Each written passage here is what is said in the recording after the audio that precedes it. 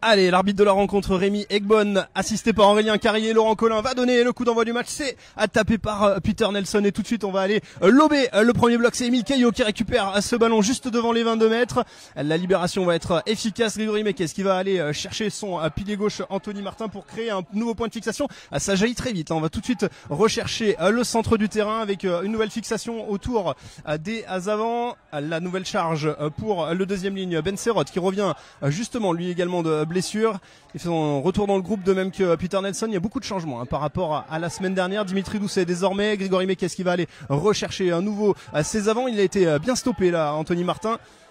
Pour l'instant, les Violets n'ont pas forcément progressé sur euh, ce premier temps de jeu, mais ils insistent. Ils vont de nouveau chercher euh, Ben Serrot. Il y a une bonne euh, défense, un bon grattage là de la part de Valentin Seyé qui va pouvoir récupérer une pénalité. C'est vite joué. On essaye de mettre le feu du côté de, Thibaut Dufaux pour le Stade Dijonais. Je vous l'ai dit, finalement, cette équipe n'a pas forcément quelque chose à perdre dans cette rencontre. Et donc, elle va essayer d'envoyer du jeu avec euh, cette euh, pénalité jouée rapidement et euh, la réponse du berger à la bergère avec un, bon grattage cette fois-ci d'Audrix en la ville. On a justement, on en a déjà parlé, mais vous avez dépanné sur un match, c'est pas forcément le, votre match préféré, je, suppose cette saison. Ni le match préféré, ni le poste de mon poste préféré, hein, donc voilà. J'ai essayé de faire ça pour l'équipe, ça s'est pas forcément bien passé, mais bon. Alignement, on va aller chercher au fond d'alignement, ce sera pour Quentin Pointu. Quentin Pointu, le pilier en percussion avec le ballon qui a été ramassé à la charge du deuxième ligne euh, Josh Peters, le deuxième ligne euh, d'origine britannique mais euh, international espagnol. Thibaut Dufaux vers Ignacio Mires, Ignacio Mires qui va faire jouer derrière lui, il y a Sakusa ça qui réussit presque à, transmettre à Conduché. Finalement le ballon a été ramassé par Colin Lebian. Temps fort pour aller joueur bourguignon avec le centre du terrain désormais Majola avec euh, la tentative de grattage de Dimitri Jean-Etienne. Ce n'est pas réussi avec euh, Bureta Kiyasa qui a été pris par deux joueurs. Il a finalement tombé euh, le ballon en avant et donc on aura une mêlée bien autour de la défense burgienne de faire exploser le ballon au contact à des joueurs dijonnais. Et la séquence défensive va permettre à Bourg eh bien, de récupérer la munition sur la mêlée à venir c'est plutôt un de vos points forts hein, cette saison également la, défense. j'ai beaucoup parlé de la défense bourguignonne qui euh, sur ce début de match est, efficace, mais la défense burgienne c'est également un gros gros point fort. Oui, on s'appuie sur notre défense, euh, on travaille beaucoup et on se rend compte que sur les matchs elle est plutôt efficace. Donc euh, on va essayer de continuer comme ça aujourd'hui. On voit que les deux équipes ont des intentions de jeu, on voit deux équipes qui tiennent le ballon, qui qui avancent aussi avec le ballon, mais pour l'instant il y a toujours une petite faute de main qui empêche l'équipe porte, qui porte le ballon de, de marquer des points. Allez, on va suivre euh, cette nouvelle épreuve de force. On s'est un petit peu euh, soigné euh, du côté, on s'est fait soigner un petit peu du côté des, premières lignes. On va se donner les consignes défensivement et offensivement. On peut s'attendre à du jeu au pied du côté Bressan, aller chercher peut-être Peter Nelson et son pied gauche pour dégager ce camp, à moins que Grégory Mekez prenne le jeu au pied à son compte. Derrière la mêlée, on va suivre ça du côté de Dijon. C'est replié du côté d'Axel Ducellier à l'arrière qui est venu se mettre en bord de touche pour couvrir. Oui, a un gros effort là de la mêlée dijonnaise, mais on a poussé en travers, indique l'arbitre de la rencontre Rémi Egbonne du côté des Bourguignons. Et les joueurs dijonnais ont récupéré euh, le ballon et reviennent s'installer euh, dans euh, le camp des Burgiens.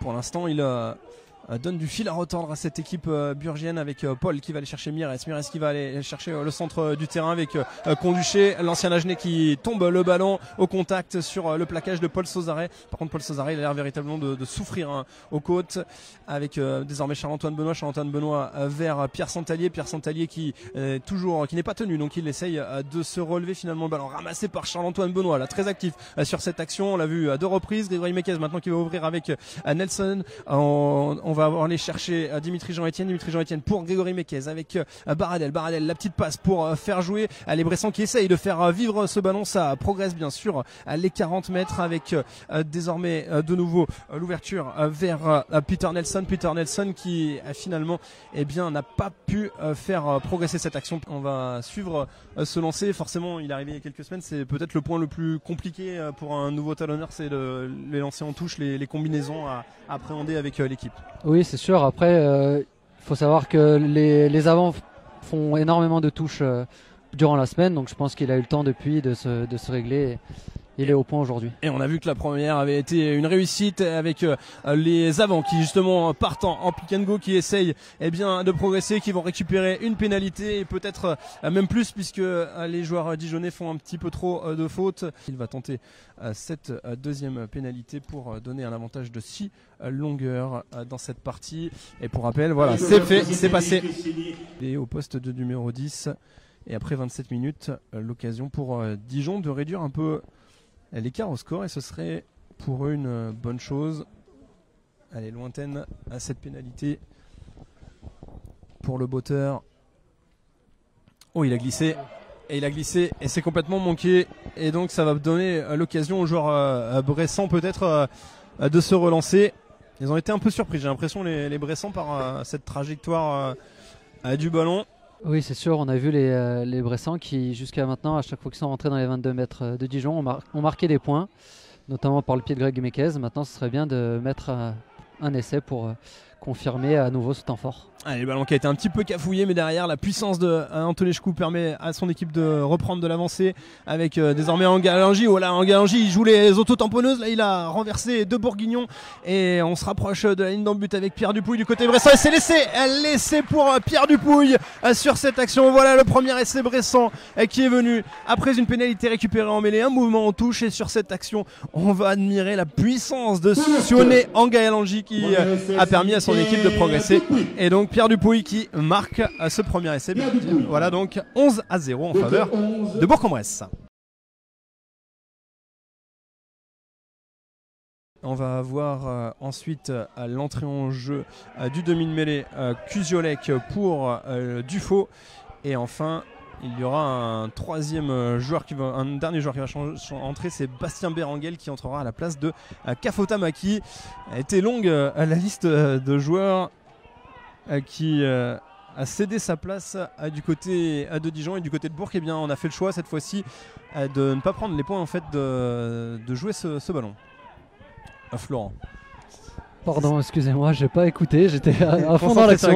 j'ai dit que cette fois-ci, on avait fait le choix du côté de Bourg de, ne pas forcément aller chercher les points, mais euh, plutôt d'essayer d'aller marquer un essai. Oui, je pense qu'on a été assez confiant par rapport à la séquence offensive qu'on a faite euh, précédemment. Donc, oh, du coup, on a jeu au pied dans l'embut, la pression, et c'était bien couvert par euh, Dusselier.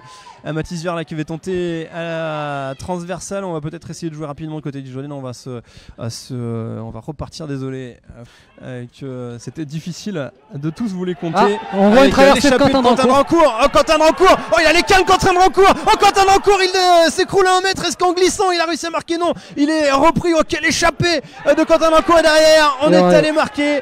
Et c'est euh, de Ben Serrot.